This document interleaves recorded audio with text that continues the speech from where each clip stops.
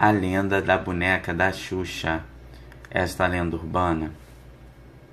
A boneca satânica da Xuxa é uma das lendas urbanas que mais causou medo nas décadas de 1980 e 1990, na época em que a boneca da apresentadora Xuxa virou febre entre as crianças.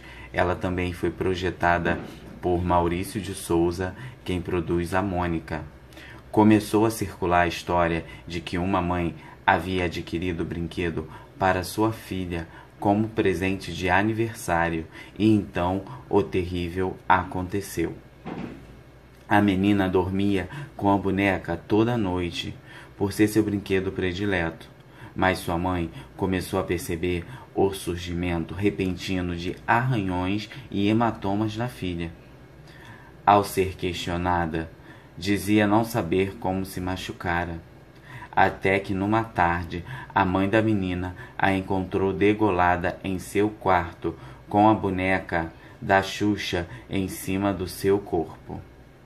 O pânico foi tão grande na época que inúmeras lojas deixaram de vender a boneca e algumas centenas foram recolhidas do mercado. Essa história aí aconteceu e dizem que, né, foi real.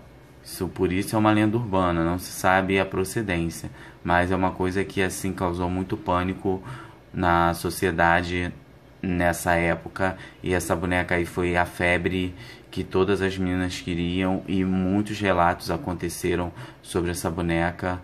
Então ela é uma lenda urbana aí que permanece até os dias de hoje, ó, como é que ela é o corpo mais ou menos lembrando o Choke, só que nessa época o Choke nem existia, então é uma coisa muito louca. Se inscreve aí no canal, deixa seu comentário se você conhece alguma lenda urbana interessante para eu também conhecer.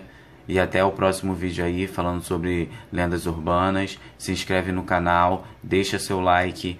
Lembrando que também eu tenho uma caixa postal, se você quiser me enviar alguma carta, algum produto, fique à vontade. Tchau, tchau.